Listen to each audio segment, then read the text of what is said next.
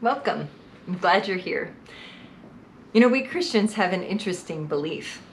Jesus said, Where two or three are gathered in my name, I am there among them. I've depended on that as we've worshiped together online. I trust that in God's goodness, Christ is present among us and in our life together. And I believe that we can be meaningfully present to one another even though we can't gather in the sanctuary on Sunday mornings for worship right now. That presence of Christ with us and connecting us to one another is evidence of God's grace and mercy. And I am so thankful for it. I'm also thankful for Kim Wisnia.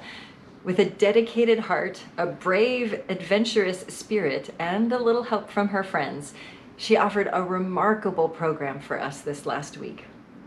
You'll be seeing and hearing more about it in just a little bit. Perhaps you've heard that we had an incident on campus. A car accident in our parking lot has left us with ele- without electricity. We're relieved that no one was hurt, and after some truly heroic efforts, Mike Jacobs and a team of elders have got us on the road to the extensive repairs that will be needed. My thanks to Mike and to Sarah in the church office who have put in so many hours over the past couple weeks, and to all the others who have stepped up to lend a hand. YLPC's partnership with his house has been growing in leaps and bounds over the summer, and so has their work housing people who are homeless. Friday, August 29th, they're hosting Camp Out Under the Stars, and this event has two objectives to raise awareness about homelessness in Orange County and what it's like to be homeless, and to raise funds to support their efforts. We're invited to displace ourselves in some way for just one night. Some brave souls are planning to sleep in their car. Others might want to stay in their own home, but sleep on the couch or in the guest room. The point is to walk a mile in someone else's shoes, to help foster compassion for those who don't have a safe place to live. That evening at 6 p.m., you'll be able to connect with a live stream with a tour of his house's new home for college students and lots of information about what they're doing to help. You can contribute financially if you like directly to his house just be sure to make a note that you are part of Team YLPC. You'll be hearing more about this in the weeks to come, but for now, you can click on the links attached to this email to learn more. We have a beautiful worship service prepared for you today, full of some surprises. Shane Hendrickson will be reading scripture and leading us in the Apostles' Creed from Acacia Park in Fullerton, just down the street from where he works. After the sermon, we have a garden tour hosted by Ann Denny, Kathleen Julian, and Dave Wassenauer. It was a big hit at Summer Arts Camp last week, and I know you're going to love it. I've loved the hymn we're about to sing since I was a child, so I was interested to learn about how it was created. Its author was a parish priest who led a youth choir in the south side of Chicago in the 1960s. He was looking for a song to prepare for some ecumenical interracial events they had planned to participate in, but he couldn't find anything that fit the bill. He wrote this song in just one day, and it quickly became the anthem of the Jesus movement. It sets the stage perfectly for today's worship service.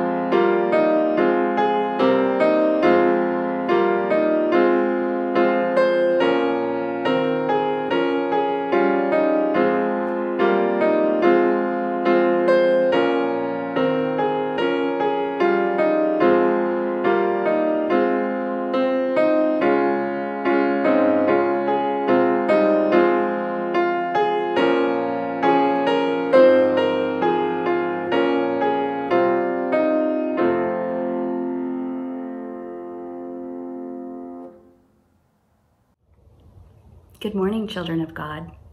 Our Bible story today talks about how when you are a Christian, you are an important part of the body of Christ. And just as God has arranged all the parts of our wonderful bodies, God also arranges us as parts of His body, God's church. We are each born with different abilities and talents. And when we use our talents, we are like parts of a body, all working together to serve and bless others. And never has the body of Christ been more evident to me than this past few weeks. We have learned to be the body of Christ from a distance. When it was evident that we couldn't do summer arts camp like we used to, we started brainstorming ideas with our CE committee. But it was a long conversation that I had with Carla that helped make our idea for a virtual experience come to life. I had an idea now, but then I struggled with the technology, since technology isn't my strong suit. So I reached out to Karen Green and we talked about lots of different ideas until we figured out what would work. Sarah in the office and Aaron Ford helped make those technology pieces work. Michelle made yoga videos, Kathleen and Ann Denny and the Wassenars shared their gardens with us.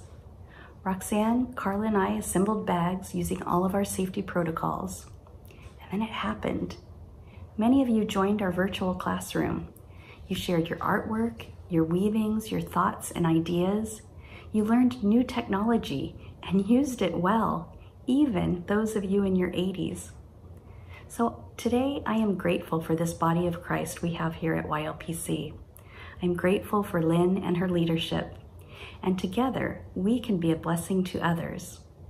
And all God's children say, Amen.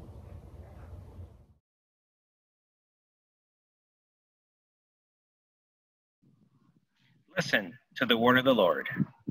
For just as the body is one and has many members, and all the members of the body, though many, are one body, so it is with Christ. For in the one Spirit we are all baptized into one body, Jews or Greeks, slaves or free, and we were all made to drink of one Spirit. Indeed, the body does not consist of one member, but of many. If the foot would say, Because I am not a hand, I do not belong to the body, that would not make it any less a part of the body. And if the ear would say, because I am not an eye, I do not belong to the body. That would not make it any less a part of the body. If the whole body were an eye, where would the hearing be? If the whole body were hearing, where would the sense of smell be? But as it is, God arranged the members of the body, each one of them as he chose. If all were a single member, where would the body be? As it is, there are many members, yet one body. The eye cannot say to the hand, I have no need for you, nor again the head to the feet, I have no need for you. On the contrary, the members of the body that seem to be weaker are indispensable. And those members of the body that we think less honorable, we clothe with greater honor. And our less respectable members are treated with greater respect, whereas our uh, more respectable members do not need this. But God has so arranged the body, giving the greater honor to the inferior member, that there may be no dissension within the body, but the members may have the same care for one another. If one member suffers, all suffer together with it. If one member is honored, all rejoice together with it. Now, you are the body of Christ and individually members of it. This is the word of the Lord. Thanks be to God. Please pray with me. God of abundant life, your grace is our daily bread. So nourish us by your word and fill us with your spirit so that we may grow in faith and love. Through Jesus Christ our Lord. Amen.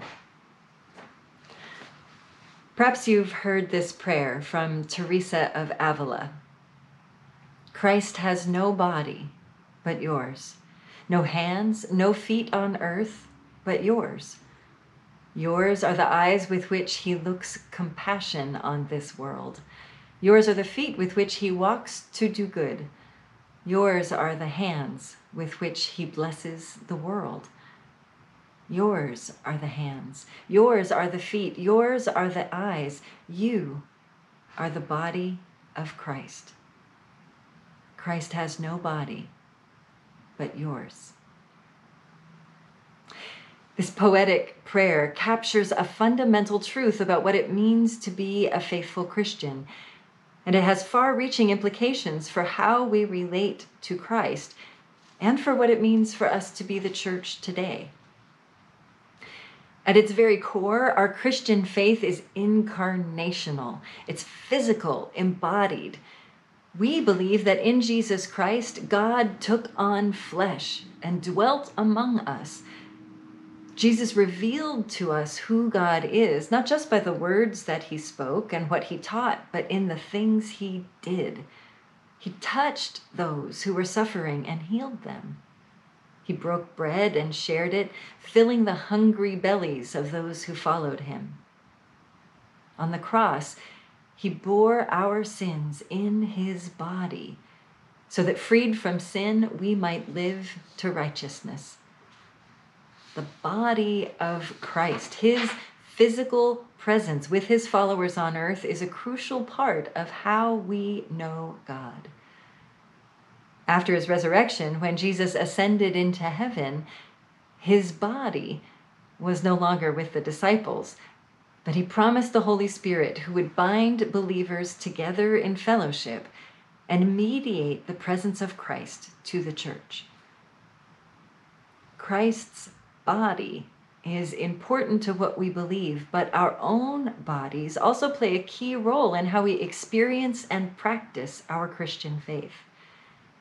There are many examples, but let's focus just on worship.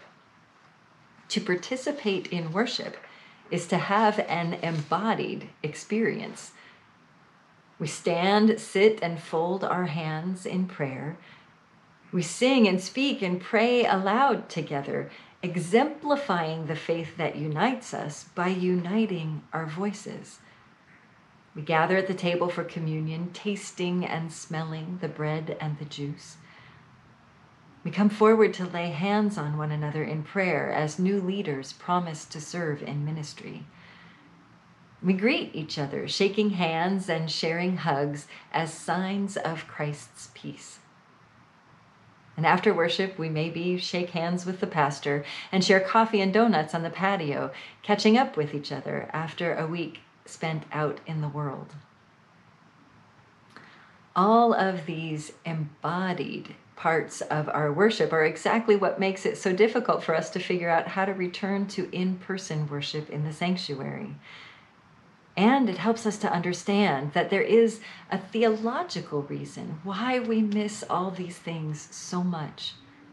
We yearn to practice our faith together in real space, in real time, in real life with the body of Christ, the fellowship and community of the believers.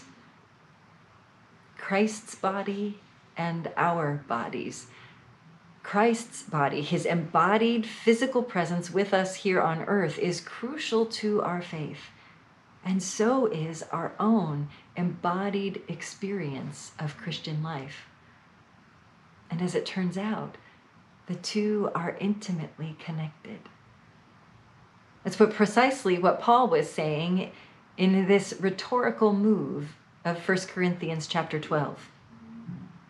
Paul says, You, Paul says to the believers in Corinth and to all Christians, you are the body of Christ. We are Christ's hands, his feet, his eyes. We are the physical manifestation of Christ to one another and to the world.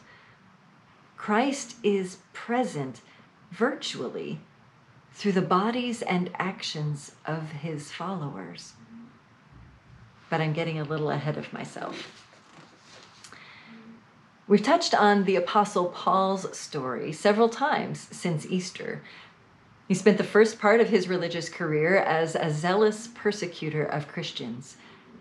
After his dramatic conversion, he was nurtured in the faith by believers in Antioch and Jerusalem and then sent out as an apostle. His missionary journeys took him far and wide. He would stop by some cities for just a little bit, checking in with them, delivering communications and resources from the larger church family. More often, he would stay in one city for an extended time, two years or more, teaching, preaching, and providing guidance as he gathered a new church community. You can imagine the deep bonds of love and friendship that were formed between Paul and the members of the churches he started. But eventually, his responsibilities as an apostle called him away to serve another church in another city.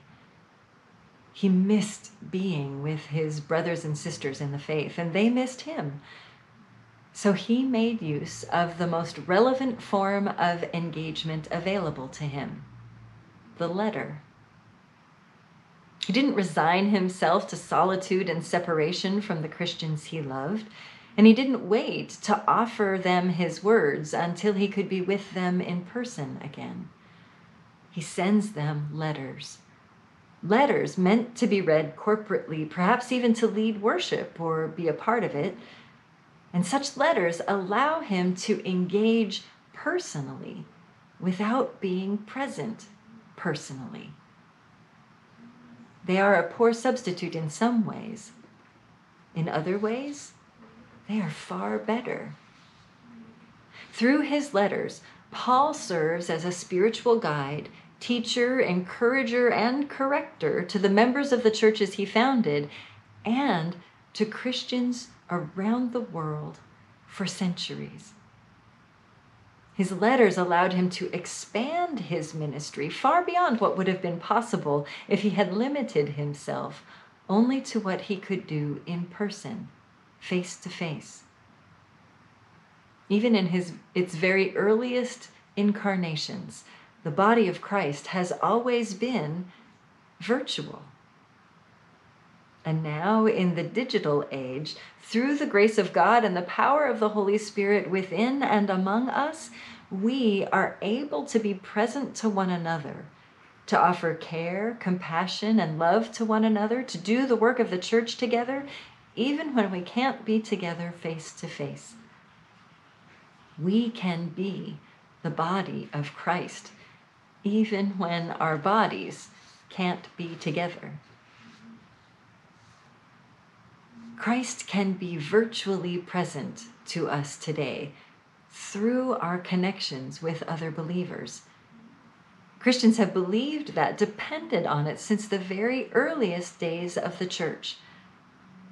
So, if Christ is virtually present to us through the power of the Holy Spirit, virtually present, but powerfully so, effectively so, if the Apostle Paul can be a real presence to the early churches and to us through the new technology of the letter, then perhaps we can place a little more confidence in the capacity of the new tools available to us to keep us present to one another as the body of Christ. Let me give you some examples of just how effective and meaningful a virtual presence can be and what new opportunities it can open up for our ministry. Since March, our worship has been online on YouTube. When we worshiped in person, we averaged about 115 people a week, which is pretty good, up a bit from a few years before. Now, we regularly get 145 views each week. And if you're sitting next to someone as you watch this, you know sometimes that means more than one person per view. One member shares the service with her sister back east, whose home church isn't able to provide online worship. At least two of our members share the service with their parents and then talk about it on the phone when they check in with each other. People who are traveling can still be with us. Members who've moved away can check in without the cost of a plane ticket. Even members who work on Sunday mornings can still connect with us in worship. This week's version of Summer Arts Camp raised our technology game to new levels. Many of us had already learned to use Zoom, some like it more than others. Now, more of our members have had their first experiences with that new tool and they took to it like ducks to water. We experimented with new tools that allowed us to create short videos, share artwork, and comment on each other's ideas, like the string of comments you see on Facebook, all in our private protected network with each other. It was slow going sometimes and took some patience and some assistance, but allowed us to do what we thought wasn't going to be possible to share the creativity, prayer, and connection of Summer Arts Camp. This year's registration was just about what it had been in years past, and it included participants from the community who aren't members of YLPC. It was wonderful, and it was all virtual. Our prayer chain has been a valuable tool to share joys and concerns of the congregation and enable us to lift one another up to God's care. Because our men's group has been meeting by Zoom, John Barrett was able to join from his room in Germany while he was receiving medical treatment. That actual connection, which happened virtually, never would have been possible before. And it meant so much to all of them. And speaking of the Barretts, those of us who have been following their journey through their Caring Bridge posts have been profoundly impacted by what they've shared there. Caring Bridge helps people facing various medical conditions to post private websites so they can communicate with friends and family efficiently. There's a depth and vulnerability there that would be absolutely exhausting to share again and again and again, one connection at a time. But with Caring Bridge, one post can touch hundreds of people the instant it's put up and allow us to suffer with the members of the body who suffer and rejoice with them when they rejoice. Susan shared that with me that the comments that have flowed through Caring Bridge, along with the supportive texts and emails, have been the main way that she's experienced Christ's presence while they've been away from home. And they've allowed us to express our love and care and concern for them, even when they're so far away. These virtual connections allow us to be the body of Christ together. Not only do they help us overcome the limitations necessary because of COVID, they extend the reach of our relationships and our ministry beyond what was possible before. Of course, we can be and still are physically present with one another. I've heard about a handmade card, hand delivered, outdoor chats in the shade, a backyard birthday celebration, families gathering for parallel picnics, meals delivered, plants, succulent cuttings, and produce from gardens shared. In all these ways, and in so many more, Christ is present virtually through the bodies and actions of his followers. Of course, we all long to be together, to be able to lift our voices as one in the sanctuary, to share a buffet meal together on the patio after church. But until we can gather again as we used to, let's make the most of what is available to us. Let's be determined to be Christ's hands and feet, his eyes of compassion in every way that we can, reaching out to share Christ's love to be the presence of Christ to someone who needs it. Because nothing, nothing not a loss of electricity, not even a global pandemic can stop the power of Christ that is at work in us and through us. You are the body of Christ. Amen. The video you're about to see is a garden tour. Ann Denny, Kathleen Julian, and Dave Wassenauer each show you around what they've made and what they've grown. In every case, what they grow doesn't stay inside their fences. Cuttings from Anne and Kathleen's succulents have decorated centerpieces for many a YLPC celebration. They've even found their way to members' homes. Some continue to grow and flourish 10 years later, a living token of a dear friendship. And produce from the Wassenauer's garden has been shared far and wide, as have recipes about how to use up all that zucchini. I hope you enjoy the beauty of what God grows and the loving spirits of these gardeners.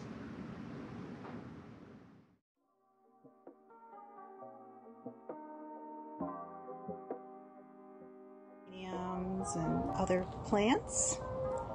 And here are some really pretty little bushes. I wish I knew the names of all these plants, but I don't. And this is a section I just started this couple months ago.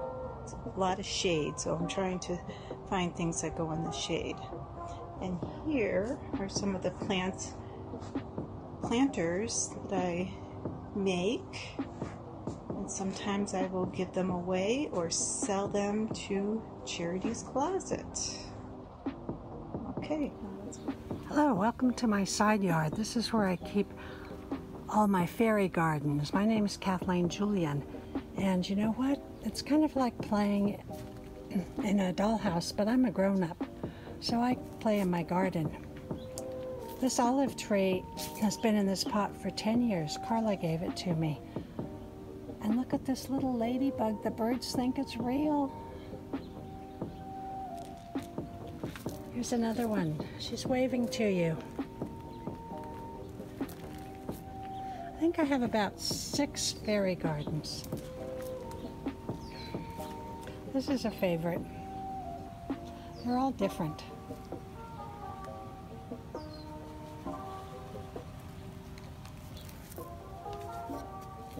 You'll find that uh, all my gardens usually have some sort of a ladybug in them.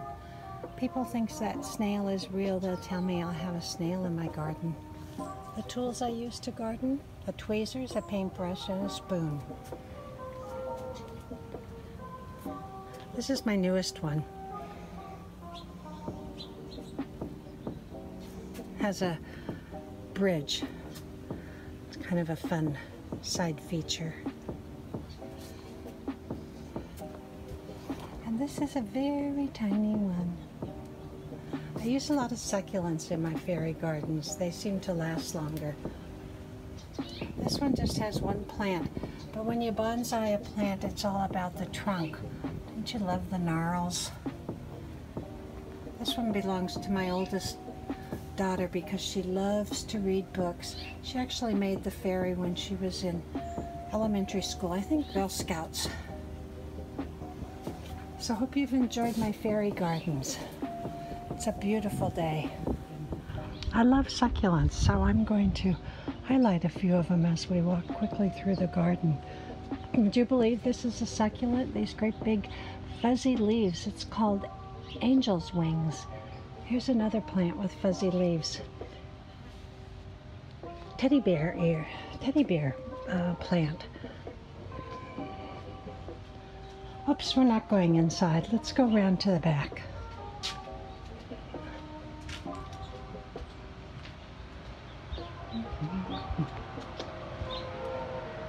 I love these great big succulents. They look like one huge flower.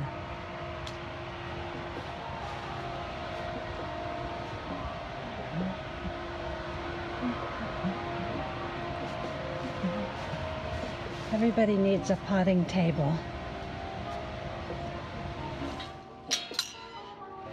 People come to my backyard and they say, oh wow, it's not the garden, it's the view. What God provided. Gorgeous, isn't it? I love the colors of the succulents. This is fire stick. Look at here. Excuse my German. Schwarzkopf means black top. This is called flapjack. Everything has a scientific name, hard to pronounce, and then a easier everyday name. Looks like a clump of grass, but it's really a deadly cactus. Some succulents, they just look like a bouquet. Succulents everywhere. This again, not a clump of grass, it's a succulent. I love the uh, string of pearls. Isn't it fun? It's kind of hard to grow, but it's found a happy spot here. Donkey's tail, an air plant. Here we have Spanish moss. Needs just a little bit of misting. And if you get bored, come jump in my pool. Thank you for sharing my garden. Hi, I'm Dave Wassenaar and welcome to our garden. We're in our backyard in Yorba Linda, and uh, we enjoy our garden. And I just wanted to show you a few things and we'll start here and then we'll end up at our, our vegetable garden. So anyway, I did, I've been working on this for almost 30 years and our, I did have some help from a friend who does landscape architecture on the side and so we laid this out together and this is the result of about 25 years of growing things. So this is probably the newest addition. Decided to put in a um, color um, garden and get some get some brilliant color. And this summer it's been very successful, as you can see. And then we'll just we'll wander here. We've got combination of different layers of things and the trick is to try to get things to bloom and uh, layer uh, at different times of the year. So we've got anything from lemon tree to a tangerine tree to avocado trees to bushes and then ground cover underneath. So as you can see it's it is layered and it stays green pretty much the, the whole year. And so we'll wander over to the vegetable garden. And some of you have enjoyed some of the uh, fruits of the garden this year and the veggies. So anyway, this is where it all started.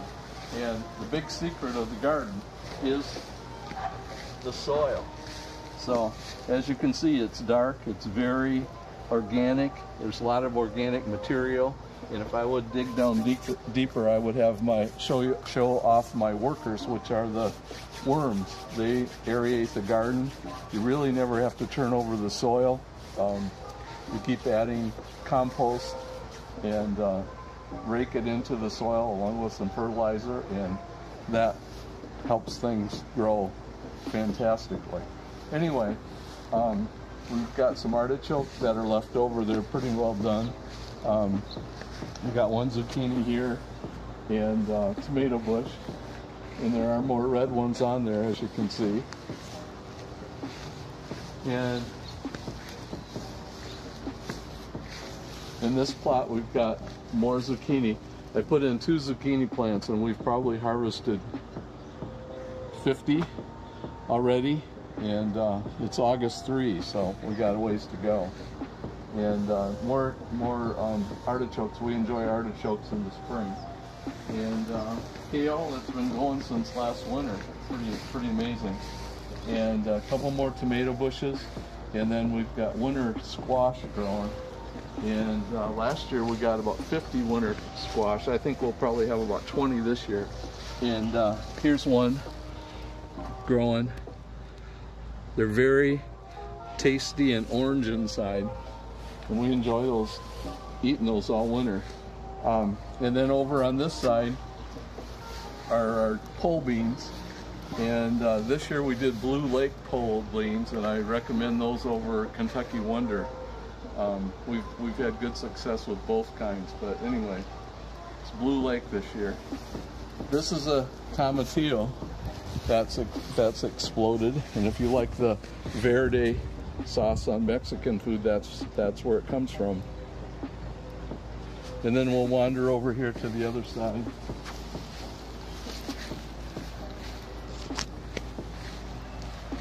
And on this on this side we have the herb garden and various kinds of herbs. And then uh, we'll finish here with uh, this. These are Anaheim chilies. They're the mild chilies, and we tend to like the the um, milder ones. So I'd really recommend that bush is really taken off. And um, the hotter chilies are are there. But anyway, I'll end with that. Um, thanks for joining us on our tour of our backyard garden area, and uh, I hope you uh, get into doing some vegetable gardening and other gardening yourself. California is such a wonderful place. Southern California is such a wonderful place to grow things. So take care and God bless.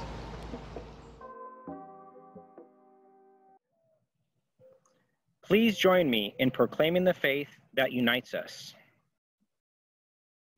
I believe in God, the Father Almighty, maker of heaven and earth, and in Jesus Christ, his only Son, our Lord, who was conceived by the Holy Spirit, born of the Virgin Mary, suffered under Pontius Pilate, was crucified, dead, and buried. He descended into hell. The third day he rose again from the dead. He ascended into heaven and sitteth on the right hand of God the Father. From thence he shall come to judge the quick and the dead. I believe in the Holy Spirit, the Holy Catholic Church, the communion of saints, the forgiveness of sins, the resurrection of the body, and the life everlasting. Amen. Go in peace to love and serve the Lord. And as you go, may the gifts of the Holy Spirit be yours. May the grace of our Lord Jesus Christ be yours, and the blessing of God Almighty be yours, now and forever. Amen.